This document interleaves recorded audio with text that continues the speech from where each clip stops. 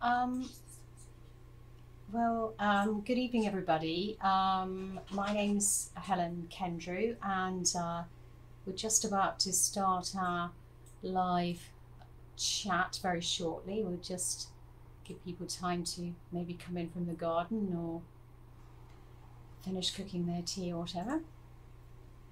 Um, marvelous. Okay. So, um, well, first of all, thank you so much, everybody, for joining us this evening.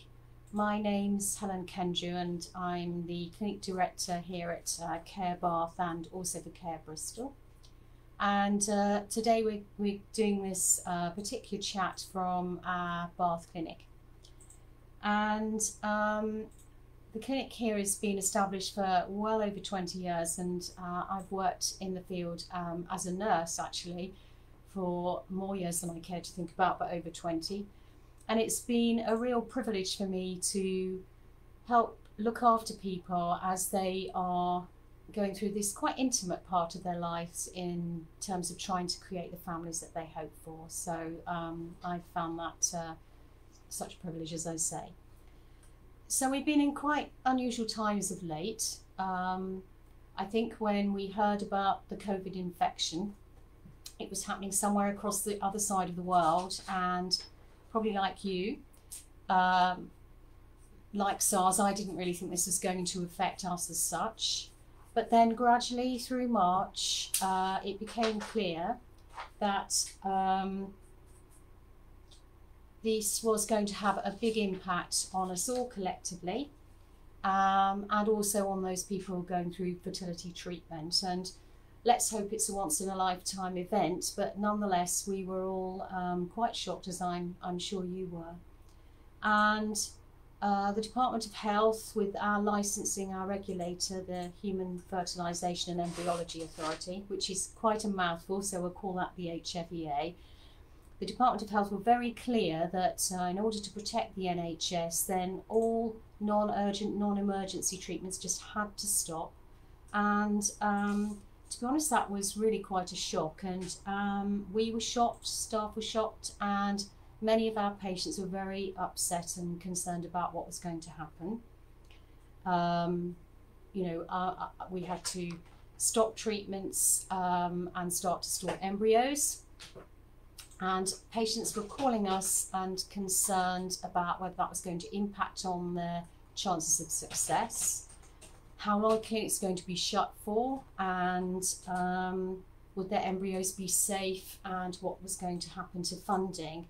And these were really difficult times. Our, our counselling service was very well used, uh, as I'm sure you can imagine. Um, so now we're coming out of the pandemic, and uh, but as we know, in the background, things can change quite rapidly. But around the middle of May, the regulator indicated that fertility clinics could start to open, and we were very pleased to be able to give that information to patients and start to uh, put things into place. So, what happens now in a fertility clinic in these new in this new situation? Well, you will know if you've been to visit us before, you will notice changes. Uh, we're asking everybody to wear facial coverings when they come to visit. We'll be contacting you in advance of any appointments you might have here to check that you are fit and well and um, just ensure that there's no risk of you bringing infection into the clinic.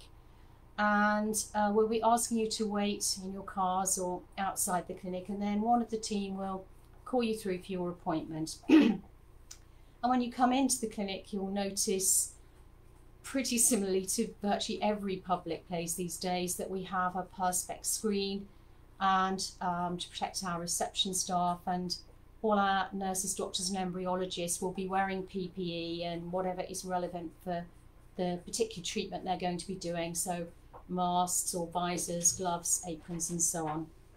And um, we are delighted to see that so many of you have um, come today. We've got a lovely message from uh, our friend Karen. Thank you so much. That's so thoughtful. Our daughter, our granddaughter is, seven years old now. Thank you for miracle. That's so kind.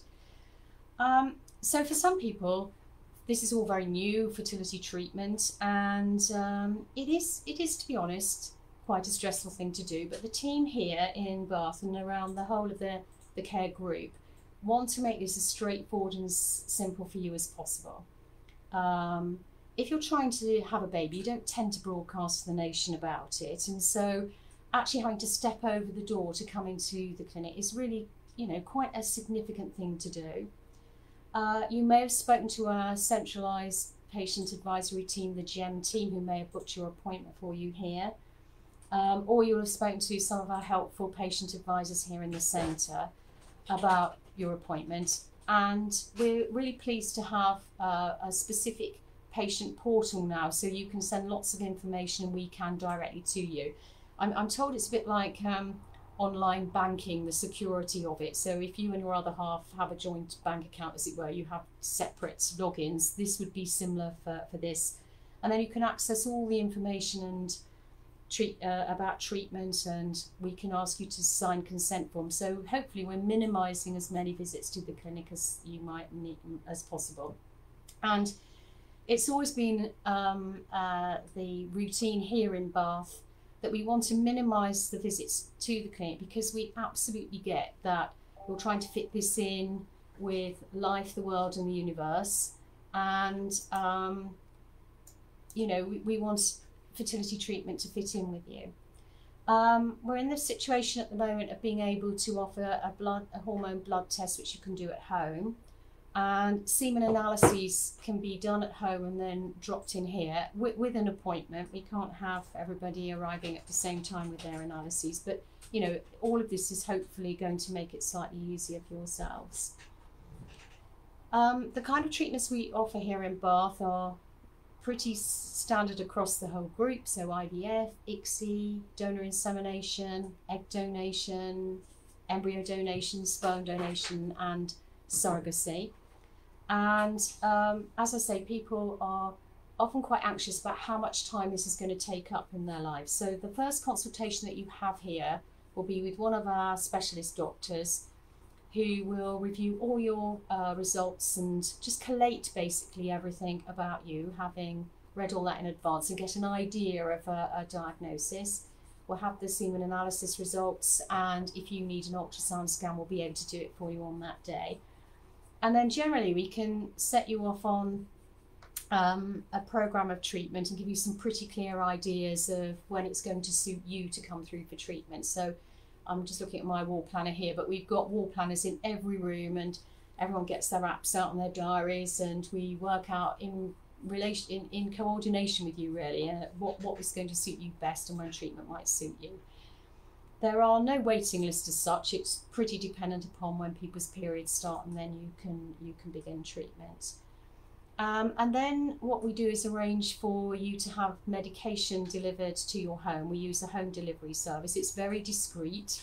Uh, you can li- you liaise directly uh, once we've ordered the medication for you with the company and you can have it delivered to your home or your workplace or even your partner's workplace. And it, as I say, it's very discreet. It doesn't come with a bright yellow label screaming fertility drugs. It's it's uh, very um, very discreet.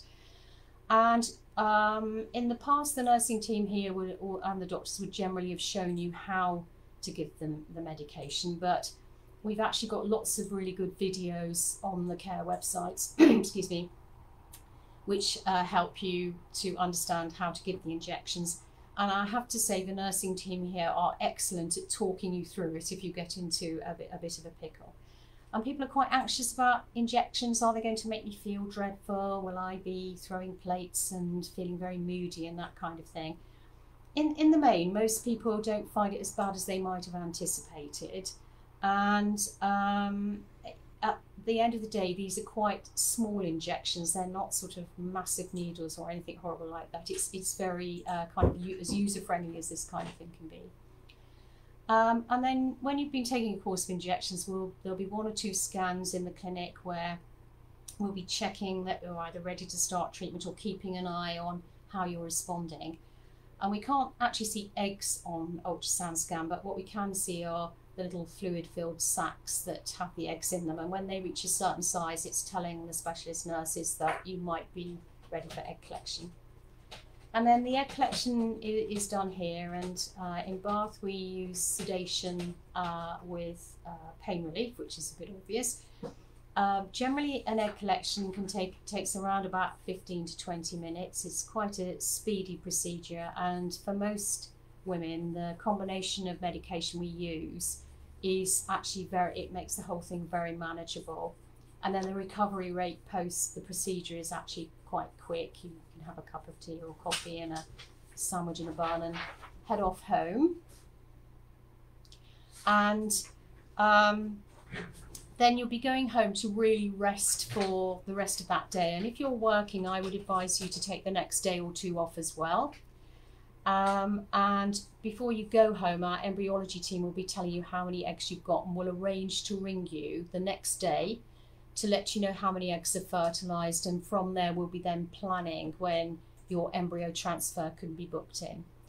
And as I said at the beginning, uh, your partner or a supporter can come with you now for your embryo transfer, and um, that procedure is fairly is fairly quick. It's you'd be here for about an hour, I would suggest. And then actually, the next bit is the really difficult bit because up to that point, you've been doing lots of really acute stuff, and uh, we're telling you to do this and when you need to come for treatment. But the waiting until we do the pregnancy tests, which you actually would do at home, that, that really is the hard bit. And, and I really want to, to clarify that the nursing and counselling team and our patient advisors are so happy to have calls from people when they're in that waiting period, just so you don't feel that you are abandoned and uh, just left uh, left to your own devices. It can feel quite quite a difficult period. Um, and then if you have a positive test, we would be doing a pregnancy scan for you here to confirm whether the pregnancy is uh, viable. And hopefully, if everything goes according to plan, at that point you would then move back into antenatal care in, in the local area to your GP.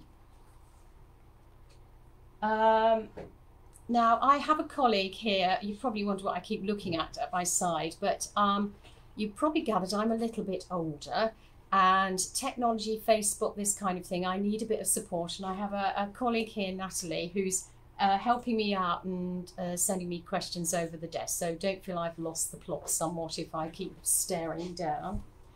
And um, so I suppose what we might like to do now is have a little discussion about some of the extra things that care can do for you. I've mentioned our. Mm-hmm counselling service, which is available on Skype and uh, Zoom, actually, and, um, and, and also by telephone. And also, our doctors can do uh, follow up consultations with you on the telephone, as can the nurses. And um, we're, we're very happy to be as supportive as possible in, in that direction. So, we have asked for questions, and um, I've got a number here, so forgive me if I keep looking down. Um, I have somebody here called Clara who said, step by step, what will I do to start treatment and how long can I can it take? Hopefully, I've given you a bit of an indication about the step by step through treatment. Um, uh, but essentially, it will take from the point of arriving for your consultation uh, we'll give you a plan, as I mentioned, and we would expect really that you could start treatment fairly imminently. There are, there are no waiting lists as such, but it's probably dependent upon your menstrual cycle and, as I said before, maybe your social and work uh, commitments. But probably about five or six weeks from that consultation to getting into full treatment and getting out the other end and knowing that you have a positive test or not. Um, I've also had a question here from someone who's saying, I'd like to come in and chat with someone about my options before committing to a consultation. Can I do that? In the past, we've had um, 10 uh, uh, open evenings where we've booked appointments for you to pop in and have a chat with a specialist embryologist, specialist nurse, or specialist doctor and uh, give you an indication of where you're going and the sorts of things you might need to consider. But at the moment, of course, we, we can't really do that, hence the reason I'm speaking to you today, but you are very, very welcome to ring us and speak to one of the team, and we'll give you as much information, helpful information, hopefully, as we can before you you commit, as it were. Just having a look here. Um, somebody called Bex has been in touch to say I have my first appointment in August, so well, that's next week. So hopefully, we'll see you soon. And another person has asked that as the clinics have been shut, uh, is there a long waiting list? I think it's fair to say that when the COVID situation first arose, we were taking in many calls, as I say, from people who were in the middle of treatment or who were anxious about when treatment restart. And we've kept a list and we've been steadily getting in touch with people. But I, I think uh, even though we are making sure that we are not having lots of people in the clinic at any one time. Really, I don't think there that, that this is having as much of an impact now as it may have done just after we reopened. And someone has also asked whether it's safe to start treatment during COVID 19. There's, there's quite helpful advice on the Royal College of Obstetricians and Gynecologists website. I'm sorry that's such a mouthful. It's RCOG very helpful advice because obviously people are trying to conceive without the help of an IVF clinic, and everyone is asking similar questions. In the main, um, from a pregnancy point of view, the evidence seems to support at this moment that it, it isn't an issue, but it is still early days. And I guess in with regards to whether you want to have treatment when you're having uh, during this particular period, it, it's really uh, I guess how you feel about whether you want to attend or whether you'd rather wait a little bit. And, and some people have chosen to wait a bit and see how the land lies before they decide to have treatment. Um, I have been asked if there is any difference between NHS funded and private or self funded treatment. Um, I can honestly say no. Uh, we don't have different sets of notes, so I couldn't wouldn't know from looking at someone's notes whether they were NHS treatment or, or self funded. At the end of the day, I guess we would love it if the NHS could fund treatment for everyone, but we are in this world where there are specific criteria, and if you're lucky enough to fit them and can come here, then um, really very, very little difference in the treatment. No difference, I don't mean very little.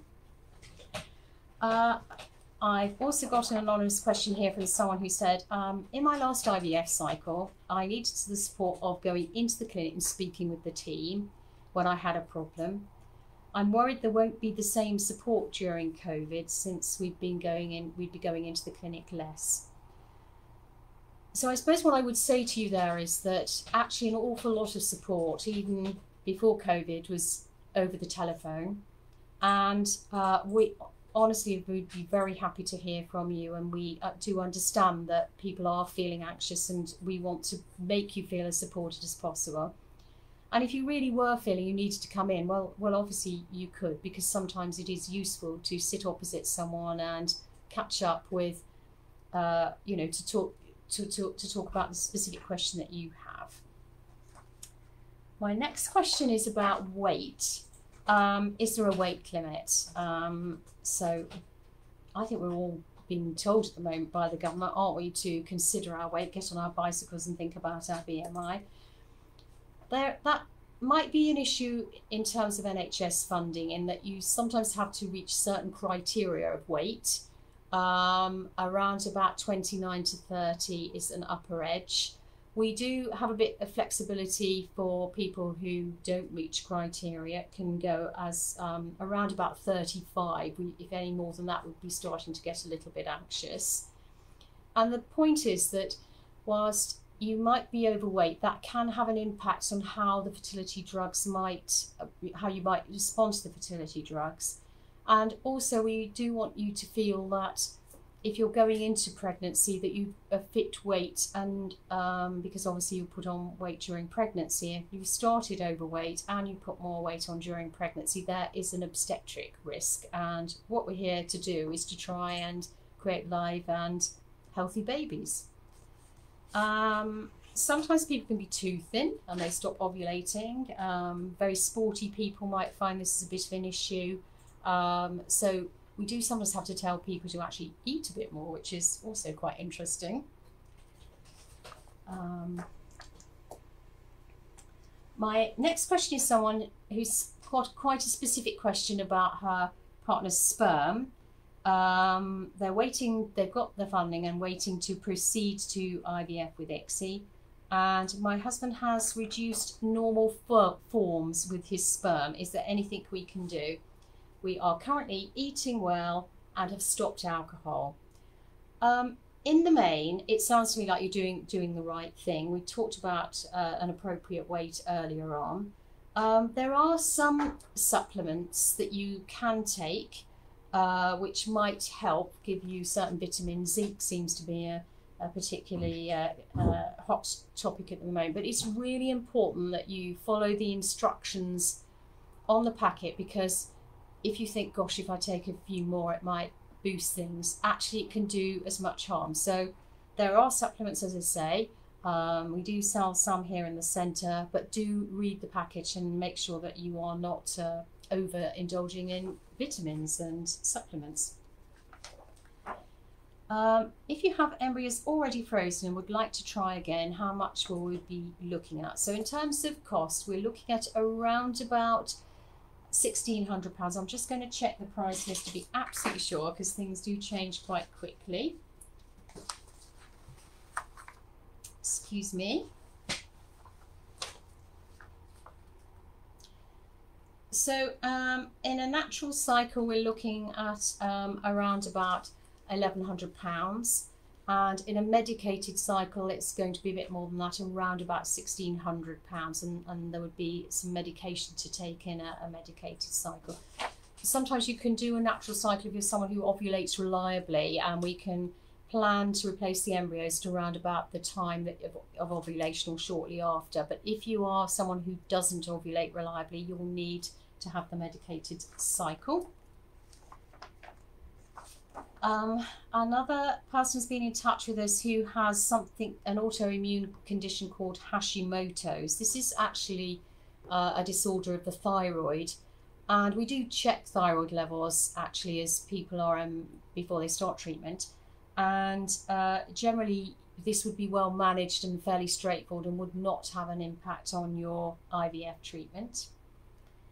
Um, and when do you think the HFEA will allow immune suppressing suppressing treatment to start? Um, I don't I don't know that question. Um, I don't know the answer to that question. Rather, they are still considering where we're going with this, and we're beginning to move towards it. But um, the HFEA were very specific about uh, when we started treatments in clinics to make sure that we were taking care of people and not putting them at risk. And if we were to suppress um, your immune system, then that might be a bit of an issue if you were potentially at risk of COVID. So I think we're beginning to look at it and we're taking steps towards that.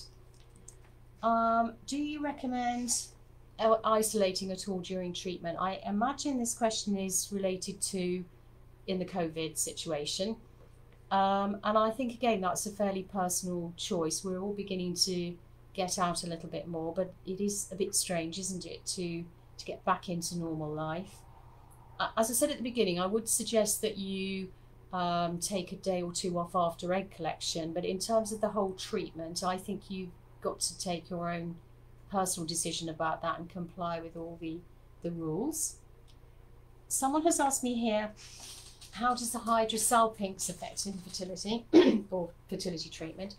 And for those of you that, don't know, uh, hydrosalpinx is um, where we have a collection of fluid in the fallopian tube, and the tube can act, the fluid can actually drip into the uterus and maybe have an impact on uh, implantation of embryos. So your con consultant will talk to you about how whether this should be dealt with before IVF treatment, um, and sometimes there can be a procedure to, to clip the tube so this fluid doesn't actually come into the uterus. Right. And if you just excuse me a minute, I'm just going to look over for some more comments. Um, it's side. So I've just had um, a lovely comment from another Helen, good name. Just putting one of your babies to bed now. The other is playing Lego with Daddy next door. You are all truly amazing. Oh, thank you so much. That's such um so lovely to hear. I hope all is going well with you, Helen. That's great. Um, and then I have someone here saying I have my fertility assessment at Care Bath at the end of August. What are the next steps after that appointment, and how long will uh, is the wait? So hopefully I, I covered that. I hope you got in and heard that a little bit earlier, but from the appointment, probably about five or six weeks to getting into treatment and, and so on.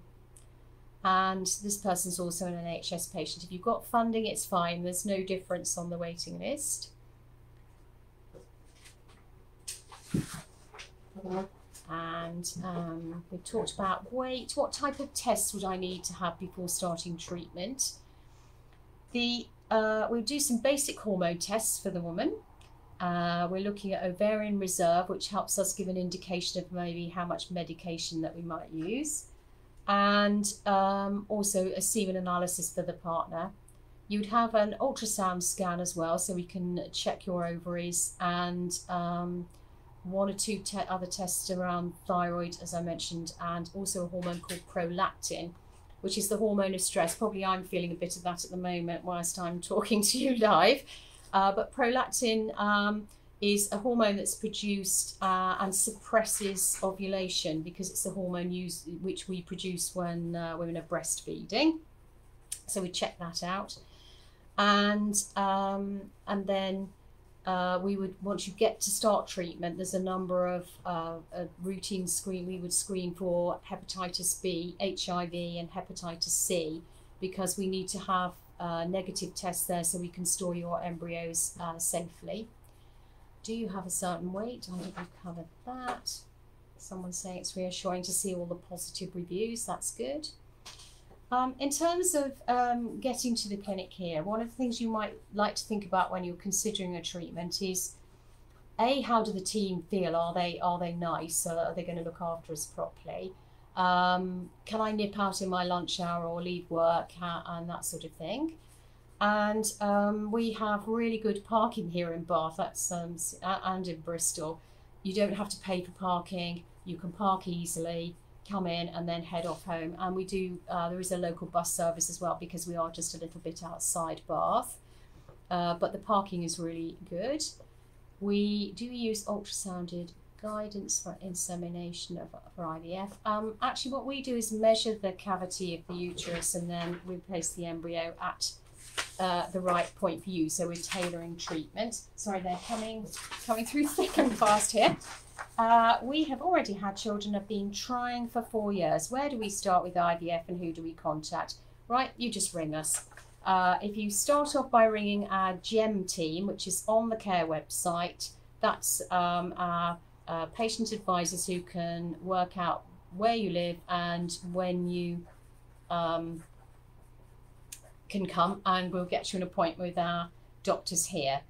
Um, but we probably need to get on and see you fairly promptly. So if you ring the GEM number or the main clinic number here, we'd be happy to help you. Um, then someone has uh, talked to me here about their sperm count, been taking it sounds like a supplement for four months. It um, should they be retested? We would always retest. Thank you. Mm-hmm. Um, we would always retest. Um, you you never do treatment on the basis of one result. So there would definitely be a retest for you. Someone else asking about exercise. I start IVF in a few weeks. I exercise six days a week. What guidance do you give for exercise? Well, at the end of the day, we don't want to end up being couch potatoes, uh, but I equally don't want you to suddenly have a change of um, exercise regime and start an Ironman, for example. So whatever you're doing at the moment is probably okay. But as we get through treatment, you might just begin, begin to find that uh, you're feeling a little bit heavy um, as the fertility injections start to have an impact. and probably won't want to do quite as much uh, hefty exercise. So a good brisk walk, as my grandma would say, is uh, the best best thing to do. But for the moment, keep fit. Um, are we coming to the end? Um, okay. There's one or two more on screen and that one. Okay, right.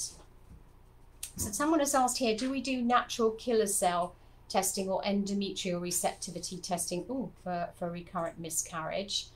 Um, there's uh, the jury is a little bit out on all of this. Um, there's certainly um, something called endometrial scratching, which has been shown not not to be effective.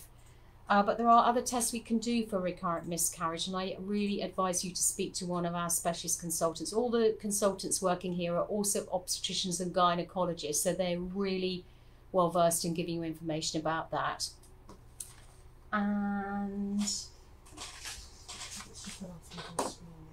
um, okay, I was going to the bottom. Um, single woman wanting to know if there is some financial support for NHS funding. Um, there may be if you have an actual cause of infertility, such as blocked tubes or so on, then there there may be some NHS funding for you. Someone else is telling me their prolactin is a little bit high. What can I do with that? Well, we'll check it again, and if it's still high, you can take some medication which will reduce your prolactin levels.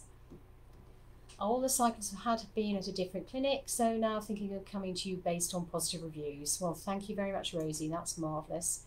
Uh, do you have to be referred from a consultant for IVF?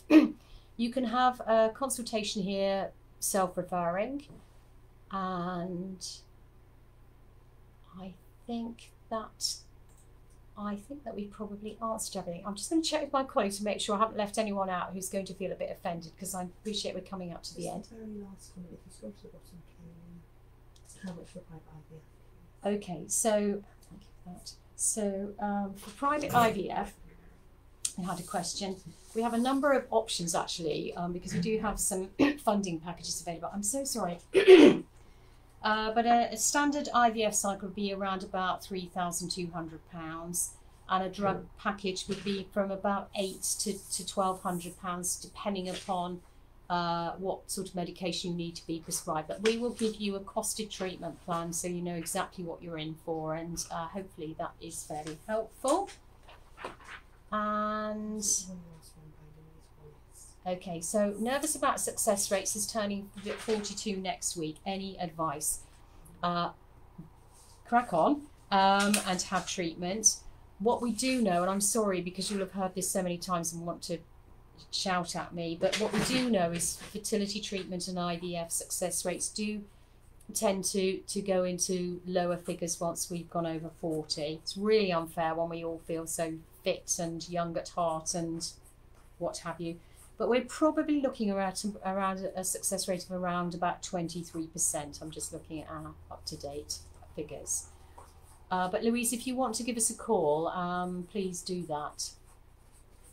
Okay.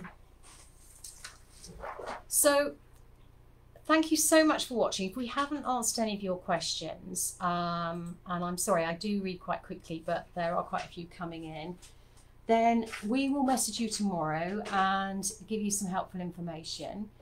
I do hope you found today interesting. I think me, my colleague, and I found it uh, quite hot and interesting here as well. Thank you so much for, for, for joining the event. We're really very grateful uh, on this lovely hot evening, and I do hope you found today's question and answer session helpful. And if there's any more information we can give, just please get in touch and uh, have a lovely evening.